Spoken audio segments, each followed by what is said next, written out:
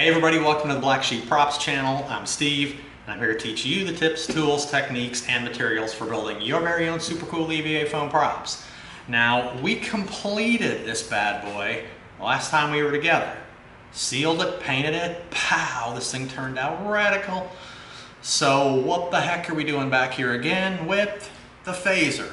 Well, we're back for the same reason we came back after we finished the retro ray gun, after we finish the arm cannon, after we finish the shrink ray, because a kick butt prop can't be thrown down on the ground in shame like a sweat drenched pair of underwear after you cut the lawn in late August, 95 degrees, 95% humidity in Florida.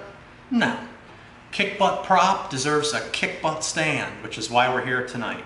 Uh, in this episode, making an EVA foam Star Trek phaser stand. We are going to knock out this little baby. That's right, check that out. Black and gold, only two colors, super simple and super cool. It's got three levels to it, very simple, and it's got a brass rod which is going to go up into the handle of our phaser. Super easy build, this will be nothing. Um, so, if you're ready to hit it, let's make something. This is going to be our custom stand for our phaser. Gonna be super easy. We've drawn, this is only gonna have three pieces on it. Gonna have the outside piece, the inside piece, the star, and the circle just represents where we're gonna have the little brass tube sticking up so that the handle to the phaser can go onto it. So we're gonna have a pole sticking out of the stand and we're gonna have a hole drilled up inside the handle of the phaser so it stands right on there. Gonna be awesome. And we're gonna do some simple details. We're gonna round off some edges with the Dremel. We're gonna cut some bevels. It's gonna be just enough to be nice. And uh, again, when you're doing a themed stand, you can do whatever the heck you want. You could have done something that had a lot of the details from the actual phaser on it, but we decided to go clean, simple, and bold. All right, there we go. Super easy. Three different thicknesses of foam. Now again, like everything we do, it's up to you how thick you want to do your foam pieces on your props and especially on your themed stands. Probably want a thicker sized foam for a base, you know, and then maybe you can layer up with thinner stuff. We've got like a two millimeter for the star. We've got probably a four, four or a six for the second layer. And then for the thick layer, we're all the way up to the half inch business, which is kind of thick. All right, super easy. We're just gonna come in with our X-Acto. We're going to cut on the outside of our Sharpie line.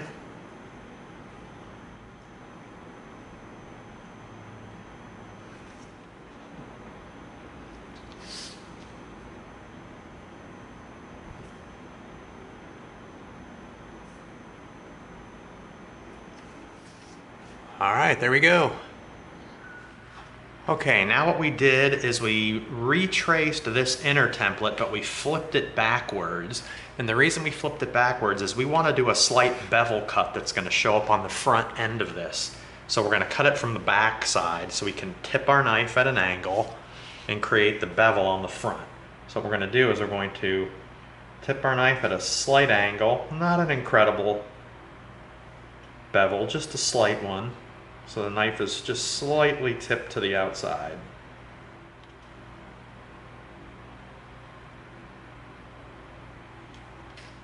Like that. Now, this is the tricky one.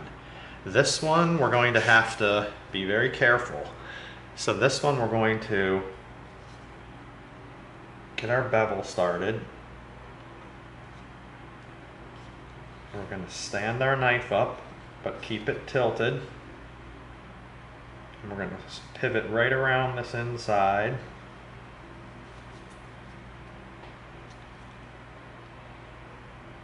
Keep our knife tilted. We're going to come straight out the end.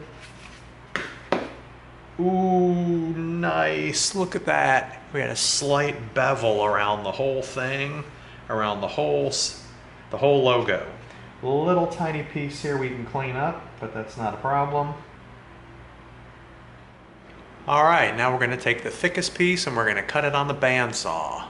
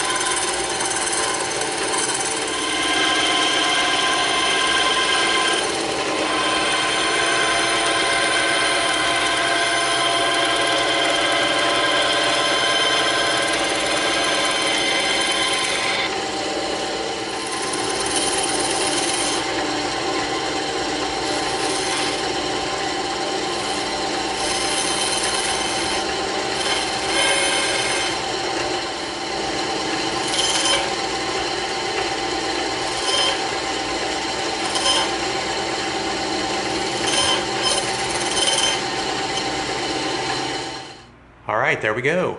Check that out. That's why a bandsaw is so jamming. Even if you can't get the super, super tight corners, you can hit it a couple different times going around it. So, look at that. That is gonna jam as a stand for our phaser. Now we're gonna begin heat sealing and assembling.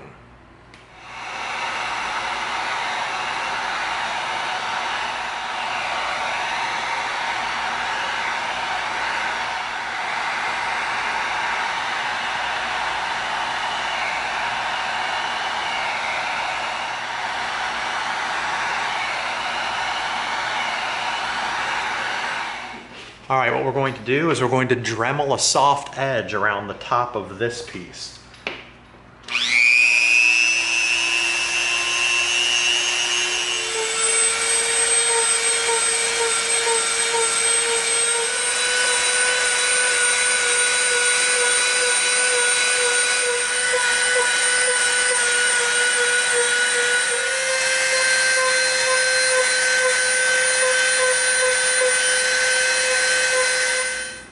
All right, there we go. Nice smooth edges. We're still gonna come in and hit it with our 220 just to help it out a little bit more.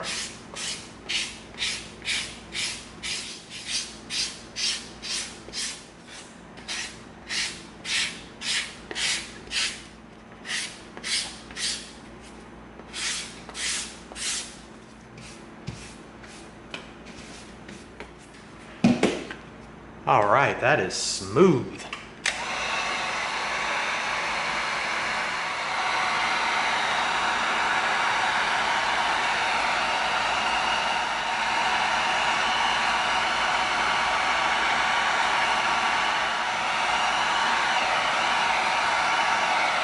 All right, now we've got nice smooth round edges on the outside piece. We have an awesome beveled edge on the middle piece, and we have a straight edge on the star. Three different techniques for the three different levels. Bam! All right, what we did is we transferred part of our star shape so we know where it's going to go down.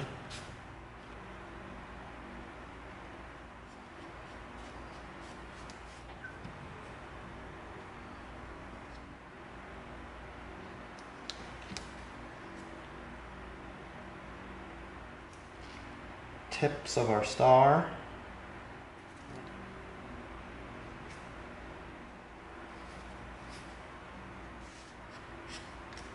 Let's get it all smoothed out. That's going to get covered when we plasti dip it, so no worries. Let's get our squeeze out smoothed out, just like that. So when we seal it with the plasti dip, you can't really tell.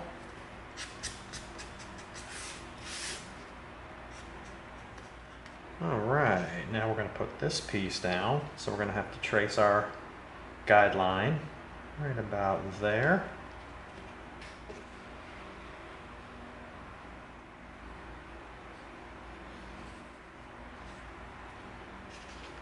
All right, there we go.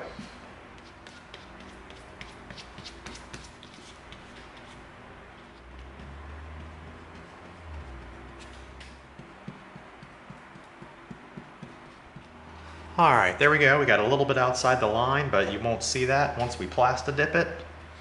Sometimes you can't avoid it with some little tiny corners, but for the most part, it won't be seen. All right, there we go. Give it five minutes. All right, time for contact. We're gonna lay it down all the way down to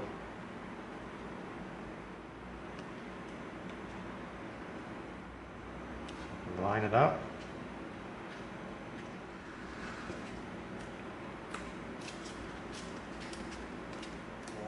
Look at that. That is a stand. Three different techniques. Rounded corners for the outer shape, beveled edge for the inner shape, straight cuts for the star. All right, now what we did was we came in here and we marked the two marks on our brass pole. This short end is going to go down into the stand. This top end is going to stick out and is going to go up into the handle of the phaser. So what we're going to do is we're going to cut it right on that mark. So we've got our snips.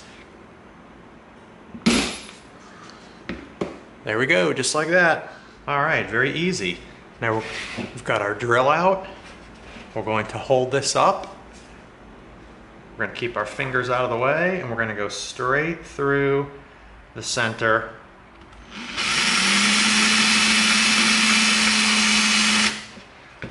There we go. Now we've got a hole for our brass tube to go in. Check that out. All right, now what we're going to do is the technique you've seen us use before, which is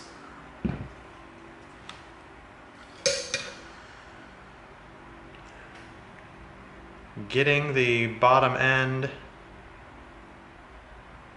of our pole contact cemented and while it's wet we're going to feed it in right to the spot we need it to be at just like that. And we're going to clean up around it all right, there we go. Now what's going to happen is this, is the wet contact cement down inside where we drilled, the moisture content is going to evaporate inside the contact cement and it's going to stick. So we got the stick, the brass tube really wet. We got the tube in, we spun it around so that all the contact cement doesn't just touch the brass pole, but touches the inside of the foam. And then like we just said, when the moisture content evaporates, they will stick together. There we go, that's it. All right, we're out at the spray booth. We're gonna do our phaser stand. And always wear your respirator. We talk about this every time, even if you're outside. Use this because you don't want to breathe that. And you can probably hear all the critters out here this morning waking up.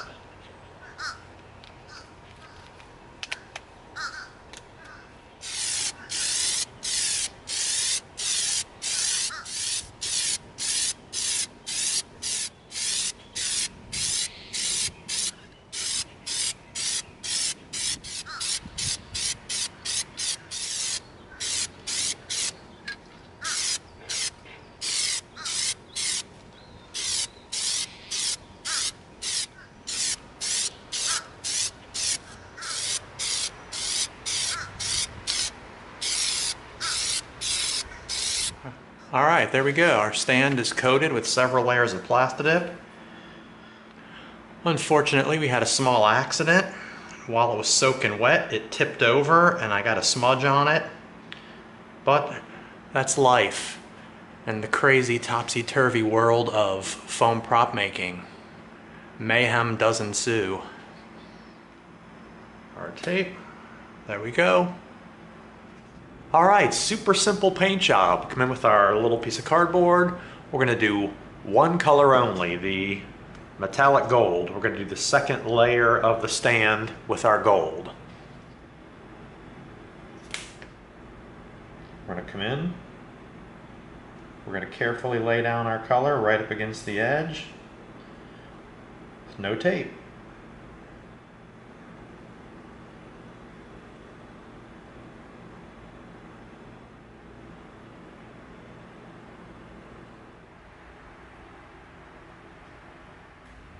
Now we're going to come in and hit the edge.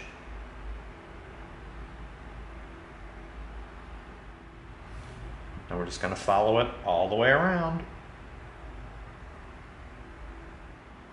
All right, there we go. We've got all the edges done and the top. Perfect. Now, like we said, we're gonna let it dry and then we're gonna go over it with a second coat and it's gonna be nice and flat shiny metallic gold. All right, notice how flat that gold looks because we're coming in now and we're putting a second coat down in the opposite direction.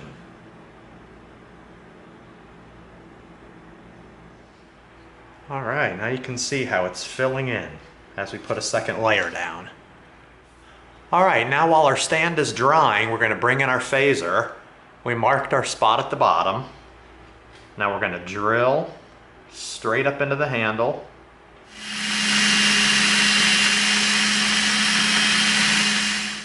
All right, there we go, perfect. All right, now this is gonna slide right on the stand. Just like that. Perfect. And then it comes right off, just like that. Nice. All right, there we go. See that? Put down a light layer first, let it dry, put down a second layer, and as you continue to let it dry and put more layers on it, you get a nice solid coat. Very nice. That is one beautiful stand right there. And then you bring in the phaser, slide it down on the stand, and look at that.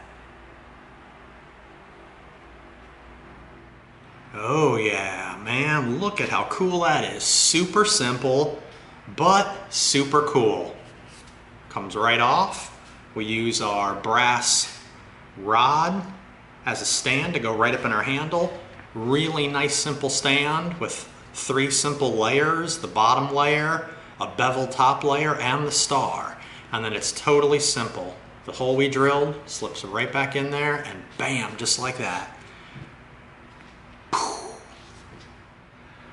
All right, man. Nothing announces to your fellow coworkers of your supreme nerd status like an EVA foam Star Trek phaser with a custom Star Trek emblem stand. That's right. Let them know who you are. Um, so that was it, man. Super easy build and it looks really cool. So uh, that concludes making an EVA foam Star Trek phaser stand. Hope you liked it. Uh, if you did, give us a like, share us with a friend, and subscribe to this channel. And together we're gonna go step by step through a lot more super cool builds so that you get the props you deserve. Thanks for coming. See you next time.